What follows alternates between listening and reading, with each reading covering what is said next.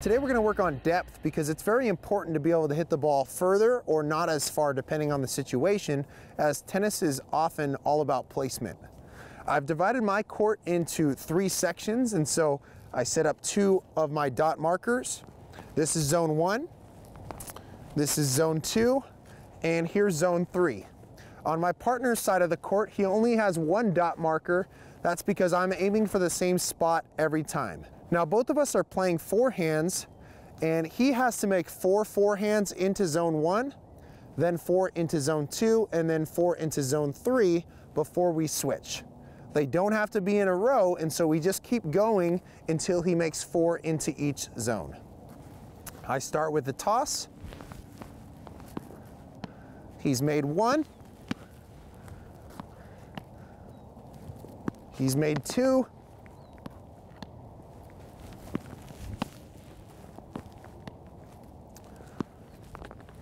And he's made four into zone one. Now I could continue the rally if I want. If I don't want to catch the ball and start it again, it's up to me.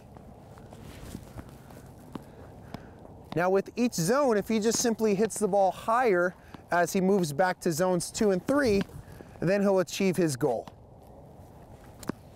Finally, zone three.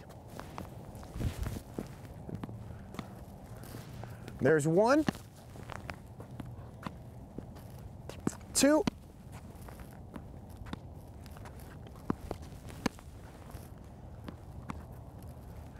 and we would keep going until he gets four into this back zone. Now notice his position is in the middle of the box, so he's not too far back, and I'm aiming for a pretty short target. After he's completed four in each zone, then it's my turn. So we'll switch sides of the court and I'll take a turn of trying to hit four into each zone. Then in round two, we're gonna hit what's called cross court, which means diagonal. It's very important to be able to hit diagonally in tennis because you're going over a lower part of the net, you have a longer court to work with, and you also don't have to recover as far after you hit cross court as when you hit straight. So my partner stays where he is. I'm going to just pick up my dots and move them over to the cross court side.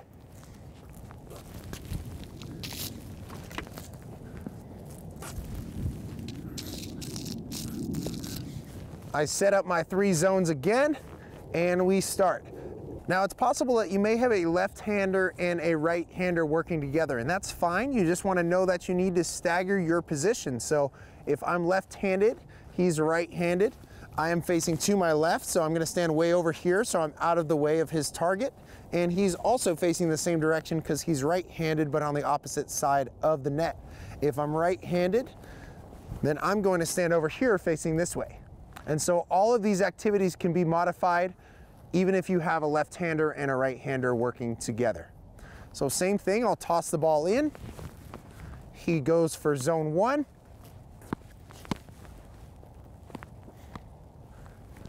He got it.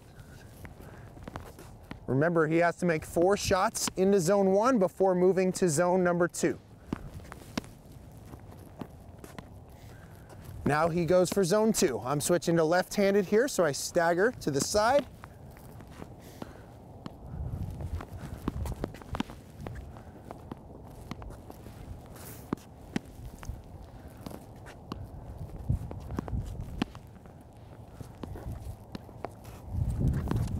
After he makes four, he goes to zone number three.